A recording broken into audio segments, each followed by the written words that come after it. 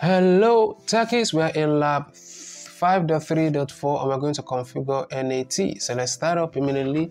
Now, if you find this video to be a bit too fast for you all, I'm sorry about that. You can always pause this video and watch uh, at your own pace and uh, match every move I make, every step I take in this video. I'm trying to make this video as short as possible for you all. All right, so let's wait for this lab to load. All right, so this is loaded. Let's see the tags that we have at hand. Okay, mm, just go through and see what we're supposed to do. All right, so all right, so let's input our username and our password. So type in admin here and our password.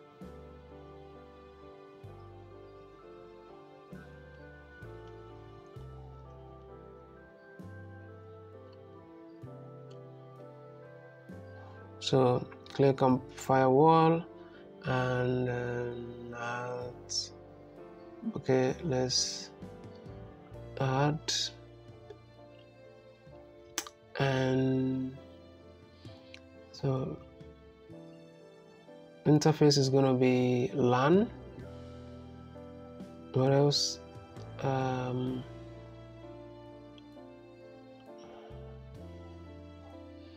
any this is going to be LAN address yeah LAN address. And then let's see. So this destination port is going to be RDP uh, yeah MS MSRDP and what else are we changing here and redirect target IP so this is going to be 172.16.1.100 and uh, redirect target is going to be MSRDP description is going to be RDP from LAN to PC1. So we'll go ahead.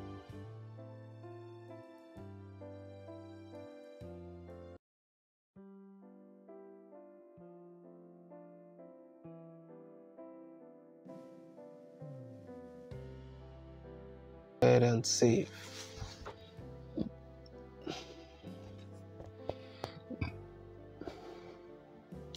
So we add again, and this time around we change this to LAN, and this is gonna be LAN address.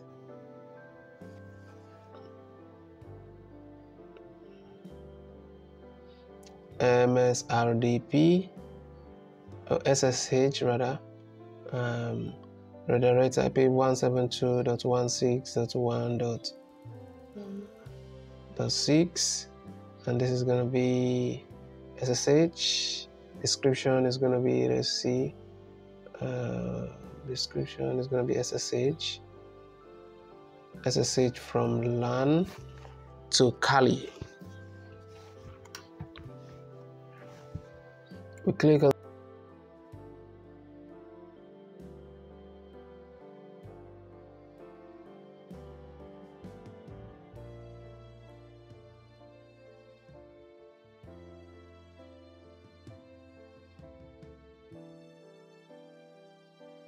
save and then we go ahead and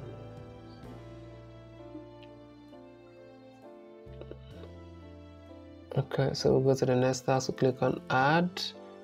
Um, this is going to be LAN and type is going to be LAN address and this is going to be RD let's see um, there's gonna be order. And we're gonna put type it in here 5151 and the port is gonna be 5151 so this is to be 5151 also. And redirect IP target. This is to be 172.16.1.5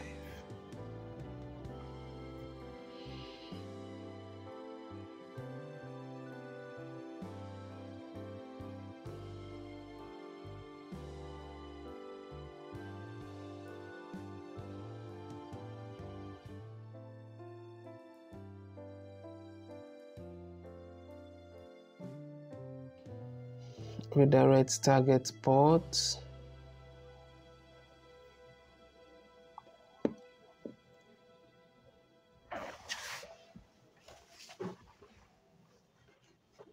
five one five one.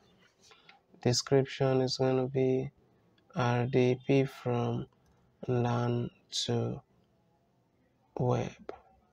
Server using custom. Port so we click on save and check. Now if you find this video to be helpful in any way remember to share so that others can benefit also. Like and subscribe to the channel. Thank you